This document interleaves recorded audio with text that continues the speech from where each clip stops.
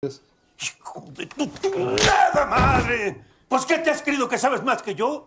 ¿Eh? No me vuelvas a faltar el respeto, cabrón. Ande, lárguese con su chingada madre.